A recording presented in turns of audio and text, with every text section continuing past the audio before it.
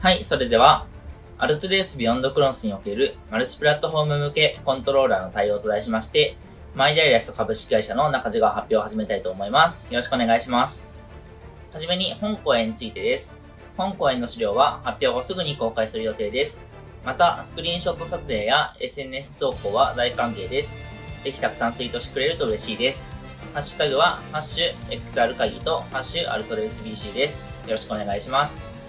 自己紹介をさせてください。UnityVR エンジニアの中地幸喜と申します。略歴としてはサイバーエージェントメルカリ現在となっているのですが、えっと、いずれも VR 関係の仕事をしています。マイデアレスト株式会社には2020年1月にジョインして、えー、そこからはインタラクション実装全般や、えー、CI 整備を担当しています。はい、Twitter やってるので、もしよかったらフォローお願いします。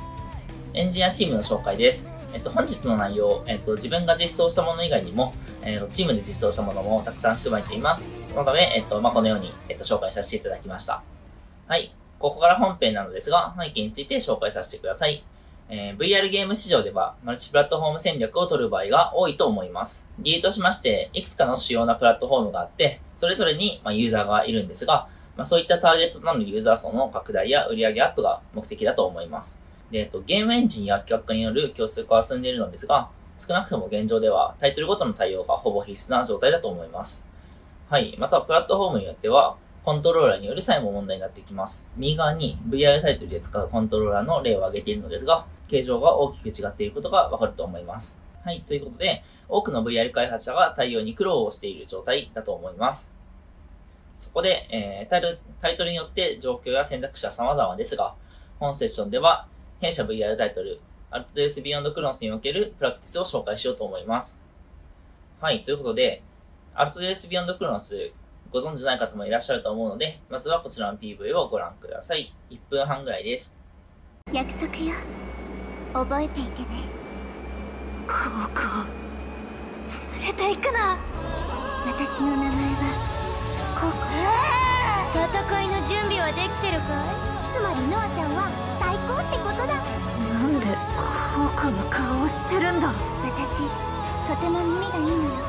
クロエ興味深い決断だ。クロエ将了解しました。司令。ヤマト天城少尉参上。友達のクロエになってしまったということよあなたが私の大切なクロエであることに変わりはないのだから。お前が私を人間にしたんだ。お前が私に心をくれたんだ。さあいつものようにあなたの手でこの巨神に火を入れて。面白いことになっているじゃないか。待てよクロエ僕たちがついてるよ。なんだこれ。あなたたちに寄り添うために今ここで歌いましょう。この光景は夢じゃない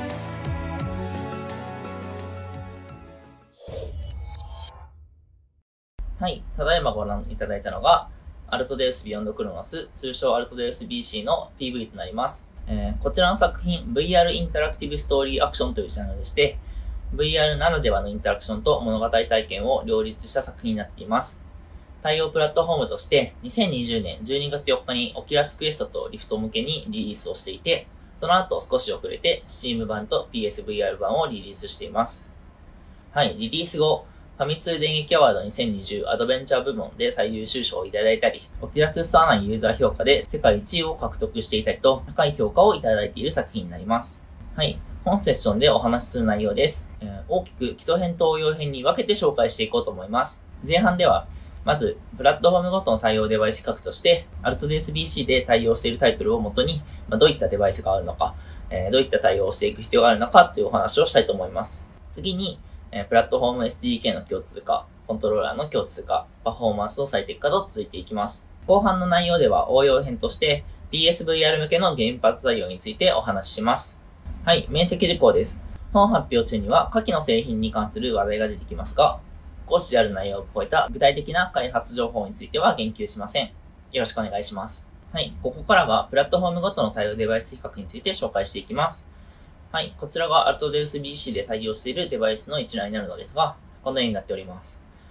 はい。えっと、上からプラットフォームが4種類あります。えっと、左から Oculus Quest、Rift、CMVR、PSVR と続いていて、えー、タイプとしては、モバイル、PC、PC、コンソールと、えっと、様々です。えー、その下、はい、デバイスとして公式で対応しているものは、こちらの9種類になります。はい、ただ、対応としては、プラットフォームのくくりである、4つのカテゴリーで対応することが多いです。えっ、と、左に、えっ、と、キーワード書いてみたんですけど、と、SDK ですね。プラットフォームごとにデバイスを扱う SDK が違うので、まあ、そちらの対応が必須になってきます。はい、続いて、処理スペックなんですけど、プラット、基本的にこれはプラットフォームによって違うんですが、例えば、オキラスクエストのように、えー、クエスト1とクエスト2で処理スペックが大きく異なる場合もあって、はい、ものによっては、えっと、デバイスごとに対応が必要になる場合もあります。解像度についても同様で、同じプラットフォームでも、え解像度が高いデバイスは、その分だけ描画負荷が増えますので、そこの対応が必要になる場合もあります。はい、えー、その下、コントローラーについては以下の5種類を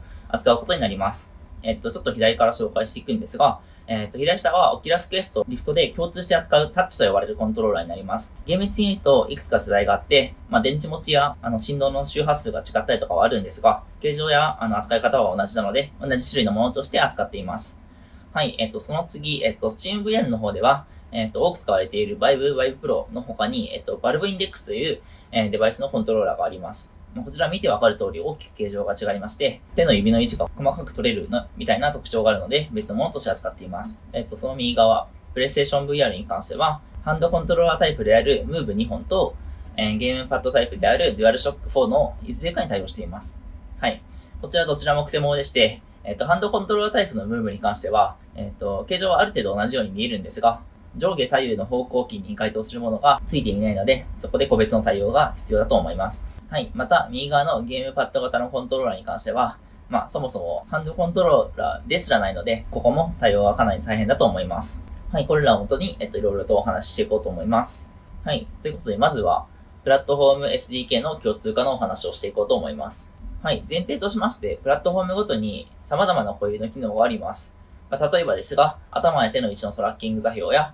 コントローラーのボタン入力、コントローラーの振動制御、ポジションリセット、アチーブメント解放など、いくつかのプラットフォーム固有の機能があるんですが、まあ、これらは各プラットフォームの SDK を通じて取得や操作をする必要があります。ただし、えー実装時に各プラットフォームの固有機能を把握するのはすごく大変です。まあ、例えばですが、頭の位置を使った実装をする場合に、オキラスの頭の位置はこの SDK から取得して、OpenVR のあの頭の位置はこのクラスを経由して取得して、みたいなことを実装者がいちいち考えていたら、あの、コードの量も増えますし、作業量が倍増してしまいます。そこで、えーできるだけプラットフォームを意識せずに実装できるように共通化を図っていこうと思います。えーそこで行ったのが規定クラスを設けることです。赤い部分ですね。規定クラス BaseVR プラットフォームというものをあ AltDevs では定義をしています。一番上にゲームコードとあるんですが、実装するときはこの規定クラスを通じて各デバイスの制御を行っています。派生クラスはプラットフォームごとに定義していて、左から VR プラットフォームオキラス、VR プラットフォームオープン VR、VR プラットフォームプレイステーション、VR プラットフォームノンがあります。それぞれの派生クラスの下にプラットフォームごとの SDK がぶら下がっている形になります。えっと、一番左側、えー一番左側 VR プラットフォームオキラスの下には、オキラスの SDK であるオキラスインテグレーションを、えっと、扱っています。では、そのオキラスインテグレーションがオキラスクエストやオキラスリフトを制御してくれているというイメージになります。この規定クラス使ったやり方で良かったのが、一番右側、えー VR プラットフォームノンになります。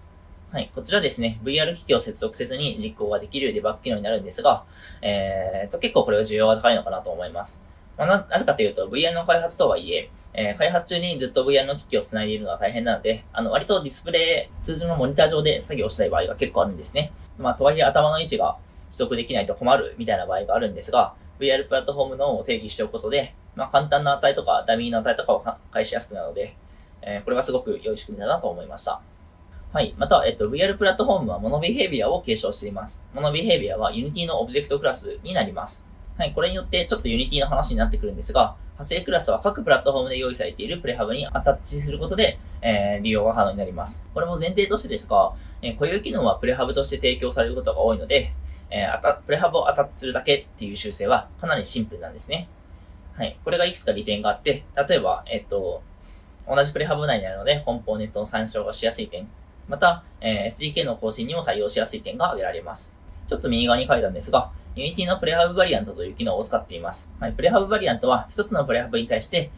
えっ、と、一部の修正を加えたプレハブを作っておくことができる機能になります。なので、えーっと、今回アルトデースでは、各プラットフォームで提供されているプレハブに対し、派生クラスをアタッチするという変更のみを加えたプレハブを用意しています。えっと、SDK って結構開発中に更新があるんですが、まあその際 SDK の元のプレハブが更新されても、派生クラスであるプレハブに関しては、コンポーネントがアタッチされているだけなので、えっと、変更範囲がかなり少なく、えっと、修正も容易だったという大きなメリットがありました。プラットフォーム SDK の共通化については以上になります。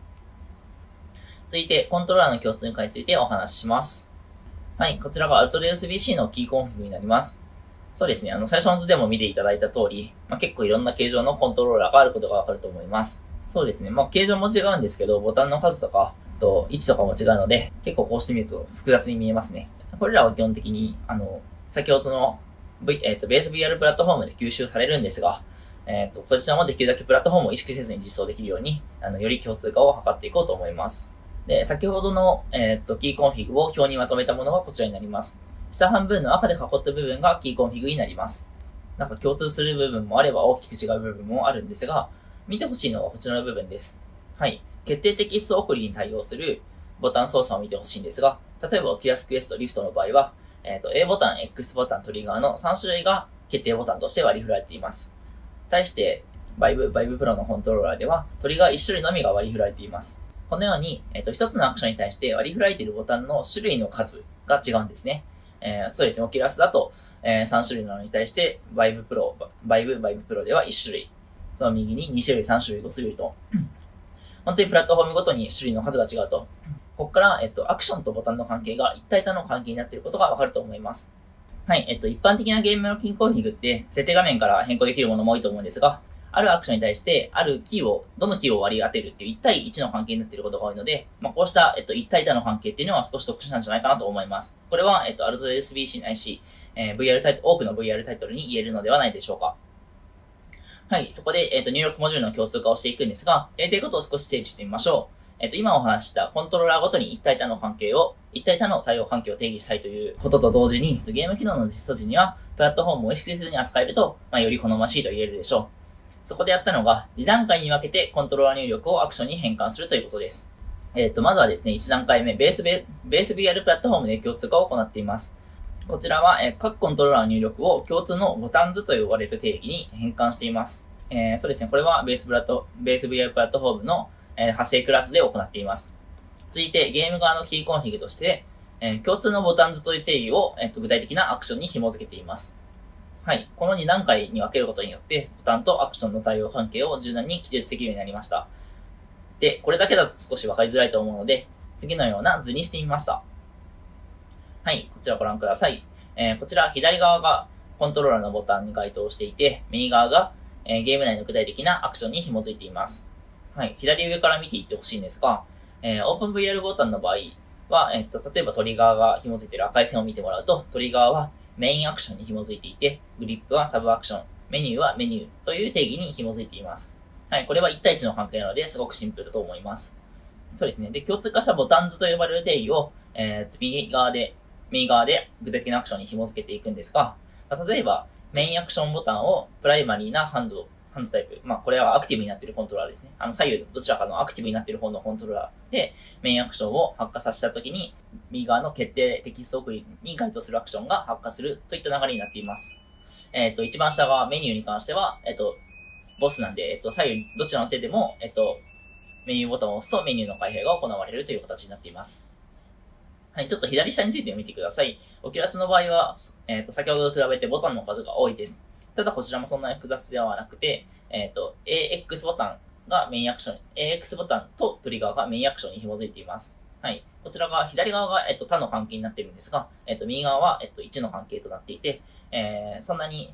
えっと、難しくないんじゃないかなと思います。なんだろうな、メインアクションに該当するようなものに関しては、えっと、複数のキーを、えっと、割り振っていくというのが基本的な流れになります。操作もある程度共通でして、まあ、グリップに関しては先ほどと同じようにサブアクションに紐付け、メニューに関しては、えっと、BY ボタン、スタートボタンを割り振っているという形になります。でちょっと見てほしいのは、えー右側のこの部分です。えっと、アクションの右手で打つ部分、掴む部分になります。はい、ここちょっと複雑に見えるんですが、解説をしていきます。はい、まず打つアクションですが、打つアクションは、えっと、真ん中のメインアクションに紐づいています。メインアクションは主にトリガーが、えー、トリガーが割り振られているものになるんですが、まあ、銃などを撃つ場合って、えっと、人差し指で引き金を引くという動作をするので、イメージ通りの割り振りなんじゃないでしょうか。はい。それに対して掴むというアクションは、主にトリガーが割り振られるミニアクションと、えー主にグリップが、中指のグリップが割り振られるサブアクションを紐付けています。はい。どちらでも掴めるんですね。なんで、えっと、VR 空間で物を掴むときは、えっと、手を近づけて、トリガーか中指のグリップを引くことで、そのオブジェクトを掴むことができるといったイメージになります。はい。このように、各コントローラーのボタンを一度、えっと、中心、中央のボタン図と呼ばれる定義に変換するんですが、変換後のボタンの具体的な使い道については、アクションと呼ばれるところで、えっと、柔軟な紐付けができるようにしています。そうですね。しかも、その段階では、もうすでにプラットフォームの細部を意識することなくできるので、かなり扱いやすかったです。はい。なんでこ、こういった2段階に分けて変換するというのは、すごく、なんか、良いやり方なんじゃないかなと思いました。よかったら参考にしてもらえると嬉しいです。はい。続いて、パフォーマンスの最適化についてお話していきます。はい。ちょっと一般的な話にはなるんですが、えっと、ワルトレースでどのような流れでパフォーマンスの最適化をしていったかという話をします。はい。まずは、パフォーマンスを考慮したグラフィック表現の方針を立てました。えーまずは、えっと、特徴的、まず特徴的なのが、ライティングを使用しないという方針を立っています。こちらですね、アルトレース BC、まあ、えっと、前作もそうなんですが、えっと、弊社で扱っているタイトル全編を通じてアニメ調の、えっと、見た目をした作品である利点を活かしたものになります。こんな感じで、えっと、まあ、アニメ調の、えっと、グラフィックになっているので、ライティングを使用したくても、なんか、えっと、チープな印象には見えないんじゃないかなと思います。はい。ただ、えっと、書き一切使わないわけではなくて、例えばテック下の焼き込みであったり、シェーダー表現を使って、できるだけリッチに見せるような工夫は随所にしています。はい。また、えっと、描画負荷が高いことが知られている半透明表現はできるだけ避けていて、えーっと、そうですね。なんか、まあ、どうしても使いたい場合は、えっと、点滅などの、あの、半透明に見えるような見え方で代替していたりします。はい。これらの方針をもとに、えー、様々なグラフィック表現の作り込みをしていきます。続いて、ある程度作ったところで、えっと、パフォーマンスチューニングを行っていきます。はい。パフォーマンスチューニングですが、オキュラスクエスト1をベンチマークにしてチューニングを行いました。理由としましては、対応デバイスの中で最も処理スペックが低いのが Oculus Quest 1であるためです。あの、まあ、低いデバイスに、処理スペックが低いデバイスに合わせて作っておけば他のデバイスでも問題がなく動くであろうということが考えられるからです。処理負荷の最適化も行っているんですが、基本的にはグラフィック側の描画負荷がネックであることが多かったです。はい、ちょっとこれ反省なんですけど、えっと、計測開始時点では FPS が2程度しか出ないようなシーンもあって、もう少し早い段階でチューニングを始めておけばよかったかなというのはありました。右側、えっと、下に、えっと、ゲーム中のデバッグ機能が書いてあるんですが、はい、ゲーム中では、えっと、常にこのような FPS の表示をしていて、このタイミングで重くなるな、みたいなところを意識しながら開発ができるようにしていました。はい、えーっと、で、ちょっと最適化とはずれるかもしれないんですが、プラットフォーム別グラフィック切り替え機能というものも用意しています。こちらですね、えっと、処理スペックに余裕があるプラットフォームでは、グラフィックをリッチにしているという対応になります。えー、SteamVR 版などは、えっと、バトルの一部のエフェクトなどが、えっと、より豪華になっているといった対応です。はい。えー、そうですね、こちら、Unity のアドレスサブルを用いて、えー、リソースを切り替える仕組みを作成しています。ちょっと Unity の話になるんですが、えっと、具体的な方法について紹介していきます。まず、えっと、通常版、リッチ版のリソースを、アドレス、えー別々の Addressable グループに同名パスとして登録しています。はい、えっと、赤丸で囲った部分なんですが、えっと、それぞれ違うリソースを同じパスとして、同じ名前のパスとして登録していることがわかると思います。はい。ただ、えっと、パス、で、 Addressable って、あの、パスをもとに、えっと、リソースの取得を行う、行う、行うので、まあ、二つ登録されている状態というのはおかしいんですが、グループごとに、このグループを使用する、使用しないっていう切り替えができるんですね。はい。なので、えっと、ビルド時にプラットフォームに応じて使用するグループの切り替えを行っています。なんで、えっと、CMVR 版をビルドするときは、CMVR 版用のグループのみを有効にして、もう一方の、えっと、モバイル用のグループに関してはディセーブにしてしまうといったような対応をしています。はい。これによって、ビルド時に自動的にグループ範囲で切り替えができること、できるのと同時に、えっ、と、実装側で特に対応が必要がないっていうところもすごく良かったです。プラットフォームの設定で勝手に切り替えてくれるので、実装側では特に意識することなく、まあ、二つ、えっ、と、同じ機能を持つリソースを二つ用意しておけばいいといったシンプルな対応ができました。パフォーマンス最適化については以上になります。はい、ここからは応用編として PSVR 向けのゲームパッド対応についてお話ししていこうと思います。はい、まずは背景です。アルトデ SBC の PSVR 版では多くの人に遊んでもらうため、ハンドコントローラーであるムーブに加え、ゲームパッド型のデュアルショック4にも対応しています。はい、PSVR は、えっと、他のデバイスと違って、ハンドコントローラーが基本的には同梱されていないので、あの、ハンドコントローラー所持してないユーザーが一定数いるんですね。まあ、そのため、まあ、その、ハンドコントローラー持ってないユーザーにも、あの、遊んでいただけるように、えー、ゲームパッドの対応を決めたという形になります。ただ、ここで少し問題がありまして、ア l ト SBC ではもともと手を使ったインタラクション要素をしてるんですね。あの、左から、あの、手の形を自由に変えられたりだとか、真ん中の巨大なマシン乗り込んで敵と戦っていくときに、まあ、多くのインタラクションがありますし、えっ、ー、と、アドベンチャーパートでは物を掴んで探索をするみたいなパートもあります。はい。なので、この時の手のこの時の手による没入感は、ゲームのかなり重要な体験に影響しています。はい。ということで、えー、ゲーム版でも手を使ったインタラクションを実現したいという状況になりました。はい。では、ここで、えっ、ー、と、インタラクションに必要な手の動きを考えていこうと思います。えー、通常そうですね。手は、えっ、と、コントローラーを使ってトラッキングをしているんですが、まあ、ゲームパッドでは同じようなことはできないので、えー、どうい、どうやった動きを再現するかを考えていきます。はい、ここで、えっと、Alt で SBC で手を使ったインタラクションの例を見てほしいんですが、左側、よくあるモーションとして手を前に動かしてパネルに触れるという動きがあります。はい。また右側ですね。えっ、と、物を掴むときは手を前に移動させて物を掴むという動きをしています。はい。で、えっ、と、これらに共通する手を前に移動させるという操作をまずは作ってみようかと考えました。はい。で、ただ、えっと、機能を満たすだけじゃなく、同時に手の感覚、没入感を得てほしいので、えー、手の感覚を生み出す方法を考えていこうと思います。はい。ここでは身体所有感の考え方からヒントを得てみました。はい。身体所有感、聞き慣れない言葉かもしれないんですが、これは、あるものが自分の体の一部だと感じる感覚のことです。はい。で、こちら面白いのが、自分の体、自分の体以外のものにも正規することが知られていて、まあ、例えばマウスカーソル、えー、マウスを動かす、物理的にマウスを動かすことによって、その方向に、えっ、ー、と、カーソルがリアルタイムに同期していますね。動きが同期しています。物理的なマウスを回すと、マウスカーソルも円を動くと。はい。その時に、えっと、まあ、マウスカーソルもちろん自分の体ではないんですが、自分の体の一部のように扱えるということで、まあ、これ、えっと、マウスカーソルにも身体所有感が正規されていると考えられます。同じ、同じように有名なラバーハンド錯覚や、えー、我々がよく使っている VR アバターも、この、えっと、身体所有感の性質を使った仕組みになります。で、えっと、この身体所有感ですね、体勢感覚と視覚が連続的に同期していることが条件でして、えー、例えば位置や方向に対応関係があることや、動きの対応が直感的に理解できることが条件として挙げられています。そこで、ゲームパッドでも、これらの条件を満たすことで自分の手のような感覚を生み出せるのではないか、というふうに考えました。手の感覚を生み出せる操作方法を考えていきます。はい。まず、手の感覚を生み出すためには、えっと、左手と右手、それぞれ別々に動かせる必要がありそうかなというふうに思いました。そこで、えっと、左手と右手、両方で扱えるキーということで、左右対称になっているキーの中から候補を探しました。そこで候補に上がったのが2つ。1つがトリガーと、1つがスティックになります。はい、それぞれについて実際に実装してみて検証をしてみました。はい、まず1つ目はトリガーです。こちら取得できる値としてはフロートの値になっています。はい、何もしないときは、えっと、0が入ってくるんですが、奥まで押し込むと1、真ん中だと0.5といった感じで、えっと、0から1の間のいずれかの値が返ってくるという形になります。はい。なので動かし方としては、押し込み具合に押して手を前に移動させる。一番奥まで押し込むと手が一番前まで移動する。押さないと手が手前に引かれるといったような動かし方で検証してみました。はい。えっ、と、やってみたか、やってみて感じたこととしては、トリガーを引く動きと手を前に出すという動きが逆向きで直感に反するかなというふうに思いました。では、トリガーは引いているのに手は前に出す。トリガーを引くのに手は前に出すっていうところが、まあ、少し直感に反するかなというところと、あと、えっと、前後のみ、えっと、0から1の値しか取れないので、まあ、前に出すか引くかの、この動きしかできないので、少し単調になりやすいかなというところが感じました。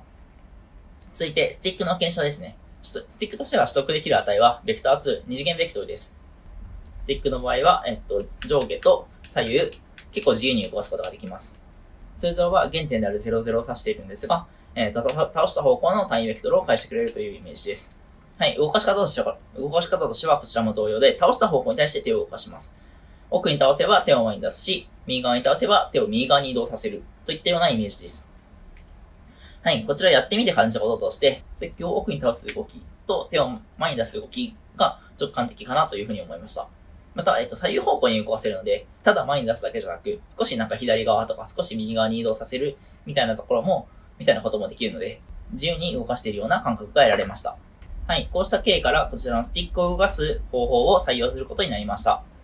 はい。続いて手の感覚を生み出せる座標移動を考えていきます。はい。えっ、と、こちらどういうことかと言いますと、ハンドコントローラーの場合は、えっ、と、トラッキングができるので、現実の手の位置と VR 空間の手の位置、手の座標が同期しています。なんで、えっと、今ここに、えっと、コントローラーがあるんですが、これを VR を被ってみた場合、ここに手が見えるっていう形になります。ゲームパッドの場合は、このスティックの小さな動き、この、この小さな動きで VR 空間の手を結構大きく動かすっていうところになってくるので、えっと、この小さな動きを VR 空間上の手の座標にどうやって反映させるかが操作感に大きく影響してくるんじゃないかと思います。はい、そこでこちらについても移動移動方法の候補を2つ挙げてみました。えっと、1つ目、左ですが、えっと、スティックを倒してる間だけ手がその方向に移動するという方法です。はい、ちょっと疑似コードを示したんですが、えっと、傾けてる間だけそっちの方にググググググっと進めて、進んでいく。右側に倒したらググググググっと少しずつ進んでいくといったイメージです。はい。で、もう一つが、えっと、スティックを倒している角度と手の相対位置が常に同期する方法です。こちらはですね、まあ、例えば前に倒したら前に進んで、右に倒したら、ググ、わかりますかね？この、角度と、角度と手の位置が常に同期するみたいなイメージです。こちらについても、えっと、実際に実装をしてみて、どちらが良いか検証してみました。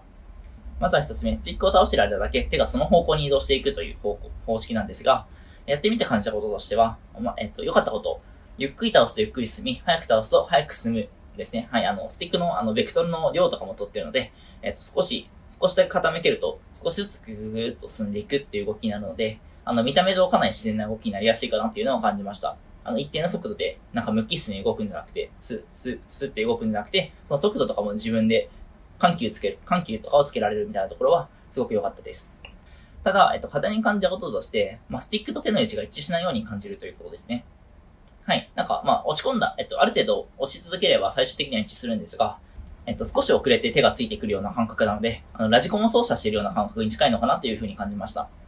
はい。なので、この方法と、この方法は見た目はかなり自然なんですが、少し操作感に難があるかなという印象です。二つ目、えっと、スティックを倒している角度と手の相対座標が常に同期している、常に同期しているような方法です。こちらに関してやってよかったこととしては、やってみてよかったこととしては、因果、えっと、対応関係が明らかで直感的です。前に倒したら、その瞬間に、前に倒したらすぐに、え手が前に出ると。で、また瞬時に手を伸ばすこともできる、できるという点も、まあ、あの、素早い操作ができるという意味で、すごく良かったです。ただ少し課題に感じたこととしては、えー、っと、操作がピーキーで手の動きが速すぎるっていう風に感じました。まあ、それはそうで、えっと、この前に出すっていうほんと1センチもないような動きが、VR 空間上でなんか数十センチの移動になるんですね。この動きでスっていう、結構大きな動きに反映されるんで、まあ、例えばガチャガチャすると手がもうめちゃくちゃ速く動くっていうイメージです。はい。そうなんですね。なんでかね、あの、操作がピーキーっていうのは、なんかすごく正しい感じ方かなとは思うんですが、えっ、と、ちょっと改良を重ねた結果、あの、イージング、まあ、少しなんか滑らかに、あの、移移動を一瞬で移動させるんじゃなくて、あの、少し滑らかにするような処理を入れることで、まあ、少し改善しました。また、えっと、操作をしていると意外とすぐに適用できるってところが面白くて、まあ、アズレ SBC って、プレイ時間20時間ぐらいを想定してるので、その時間で、まあ、最初の、なんか、多少の普段の時間とかは、そんなに問題にはならないんじゃないかということで、操作感がより直感的なこちらの方法を採用することになりました。はい、以上で使用するキーと、どのような移動をさせるかっていう方針が立ったので、これをもとに具体的な実装をしていこうと思います。はい、この時にできるだけ汎用的な手の動きを実装してみたいと思います。えー検証結果に基づいた実際の動かし方が以下のようになります。ちょっと複雑なので順番に説明していきます。はい、まず、えっと、スティックの Y 座標と X 座標で分けて考えています。スティックの Y 座標では、えっと、まあ、えっと、下方向を取ってないんですけど、えっと、押してない状態か奥に倒し込むのを2つの状態で考えてください。この時に、えっと、初期状態とターゲット位置の間を移動させるといったような動かし方をしています。はい、えっと、右側に図があるんですが、右側の初期状態が、まあ、前を習いをするような構図になっていて、ターゲット座標が、えっと、手を前に出すような動き。まあ、この動きですね。で、えっと、まあ、スティックを奥に倒すことで、0から1になるので、スティックを前に倒すと、えー初期位置からターゲット位置に近づいていくといったようなイメージになります。で、この時、y の値に、y の値に応じて位置と角度の保管を行っています。なので、ここから瞬時に吸っていくのではなく、えっと、まあ、少しずつ動かせば、こういった少しずつ、あの、ターゲットの位置に移動していくといったような動き方になります。はい。ポイントとしては、この時角度の保管も行っているんですね。スティックの X 作業に関しては、左右両方取れるようにしているんですけど、こちら左右方向の遊びになっています。えっ、と、Y ほど大きな移動ではなくて、まあ、少し左右には動かせるみたいな感じで、形になっています。はい。なんで、えっ、と、まあ、先ほどの動きですと、まあ、こういった動きなんですが、こういった動きの中で、まあ、ちょっと、えっと、左右にこの、この範囲の中で左右に少しだけ移動させることもできるみたいなイメージになります。この動かし方のメリットが、メリットとしては2つあって、角度の保管ができるので、かなり動きや自然になりました。なんか、前に、えっと、手を前に出すと、スっていう、なんか直線的な動きじゃなくて、あの、角度も保管してるんで、なんか割と、あの、その手を自然に前に出してるみたいな感覚にはなりやすかったの、なりやすいんじゃないかなっていうふうに思います。また、えっと、状況に応じてターゲット位置を変更できるというところがすごく大きなメリットでした。はい、次以降でもこのターゲット位置の変更については紹介していきます。で、基本的な、えっと、動かし方のロジックができたんで、できたんですけど、これを使ってインタラクションをしたいっていう目的がありました。えー、で、インタラクション、インタラクションするときにはどうするかっていうと、実は、えっと、触りたい位置にターゲット位置を変更するだけで済みました。はい、どういうことかと言いますと、まあ、ターゲット位置先ほどは、あの、なんか、なんとなく、えっと、胸の、ま、前あたりに手を動かしていくっていう動きだったんですが、その時のターゲット座標を、えっと、インタラクション時は、インタラクションさせたいオブジェクトに対して設定することで、この動きが、この動きが、こうなるっていう。ここまでターゲット位置がここだったものがこうになるっていうイメージです。なんで、えっと、スティックを奥に出すことで、なんか先ほど、えっと、手を動かしてた時と同じように対象のインタラクションに触れられ、触れることができる。で、対象のインタラクションはもともと手で触れて、あの、進んでいくっていう仕組みだったので、そのコライダーとの接触判定がされて、あの、通常と同じように進んでいくっていう流れになります。で、えっと、もともとそもそもインタラクションって、あの、自分の手で触れられるような位置に配置されていることが多かったので、まあ、これ、この方法によって、あの、破綻することもないっていうところも、まあ、えっと、メリットとしてあるかなというふうに思います。はい。なので、えっと、この触りたい位置にターゲット位置を変更するだけというシンプルな変更で、ほぼ全てのインタラクションに対応することができました。はい。また、えっと、手の感覚を強めるために、いくつかの工夫をしています。こちらも一部紹介していこうと、いこうと思います。はい。まずは、えっと、左右に動かしたときに、手首の角度を調整するようにしています。これちょっとね、あの人間の骨格意識、イメージしてもらいたいんですが、えっと、まあ、通常時はこんな感じで、まあ、手を平行にしているんですが、外側に動かすときって、ちょっと広がりますよね。手の角度って、あの、ここの肘が起点になって、手の角度少し広がると思います。なんで、えっと、外側に動かしたときは外側に広がる動きをして、内側に、外側に動かしたときは少し、えっと、開くような動きになって、逆に内側に動かすときは、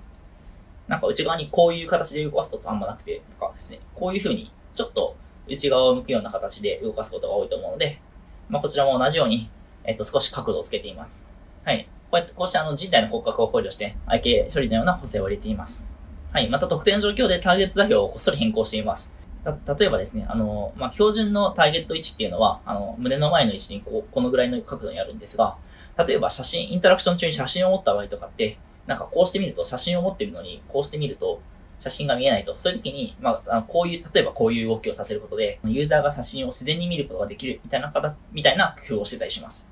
手を自由に動かせる感覚が、えっ、と、大きくそがれるのって、自分がやりたいことができなかった時だと思うので、なんかできるだけそういった、あの、あれ、これはできないんだ、みたいな思う機会を減らすことで、まあ、より没入感を高める、その空間にいることを意識してもらいました。まあ、動きが変わったら、そこでなんか、あの、ちょっと違和感があるんじゃないか、みたいなことも思うんですが、やっぱりあの、こちらもですね、身体所有感の考え方で、あの、対応関係が明らかになっていれば、なんか一瞬でそこの違いっていうのは、そこの違いっていうのは意外と人間違和感を感じないっていうのは、これをやってみて、えっと、感じた部分でもあります。はい、ということで、えっと、最終的にできたものがこちらになります。こちらが、えっと、左側ですね。ゲーム、左側の自負が、えー、ゲームバット版の操作の様子になります。これ、あのー、起動インタラクションと呼ばれるインタラクション中の様子なんですが、えー、結構複雑な動きでもターゲット位置を切り替えることで、えっ、と、簡単に、えっ、と、結構自然に実現できています。はい。また、そうですね、これ通常時手を動かしたりとか、指のポーズとかも変えられるような、えっ、と、実装を入れています。はい。これだけ見ると、なんかまさかこのゲームパッドで操作しているとは思えないぐらい、かなり自然な動きになっているのではないでしょうか。はい。ちなみにちょっとおまけとして、あの、右側のちょっと複雑な8の字型のインタラクションの実装については書いてあるので、あの、もし興味がある人がいれば、後から見返して読んでみてください。はい。ということで長くなりましたが、PSVR 版のゲームパッド対応については以上になります。最後に本セッションのまとめを紹介します。基礎編のまとめです。まず、えっと、プラットフォームごとの対応デバイス比較では、デバイスごとやコントローラーごとにいろいろな差異が存在することを紹介しました。続いて、プラットフォーム SDK の共通化では、抽象クラスを用意することで、プラットフォームを意識せずに実装できるように共通化を行いました。コントローラーの共通化の章では、えー、アクションとボタンが一体多の関係になっていることに注目をし、えー、入力の変換を2段階に分けることで対応関係を柔軟に記述できるようになりました。パフォーマンス最適化の章では、グラフィック表現の方針を立てて、オキラスクエスト1を基準にチューニングを行いました。また、えアデッサブのグループ機能を使って、えーグラフィックの切り替え機能を実現することができました。後半の応用編についてです。PSVR 向けゲームパッド対応として、えーゲームパッドの対応と手を使った体験の両立をさせる必要がありました。はい。そこで、えっ、と、身体所有感が正規する条件から操作方法の仮説と検証を行いました。まあ、その結果、えー二次元ベクトルを取得できるスティック操作を採用し、また、スティックの角度と手の位置を同期させて、直感的に操作できる移動方法を使うことになりました。また、えっ、と、汎用的に使うためにターゲット位置に保管して移動するという仕組みを実装してみました。これによって、ターゲット位置の変更でほとんどのインタラクションに対応することができました。はい。最終的にこの章では、ハンドコントローラーと同様の手の感覚を生み出すことができたんじゃないかなと思います。はい。ということで、えっ、と、本日の発表以上になります。この後質問もあると思いますので、よかったらお気軽に質問していただけるとありがたいです。ご清聴いただきありがとうございました。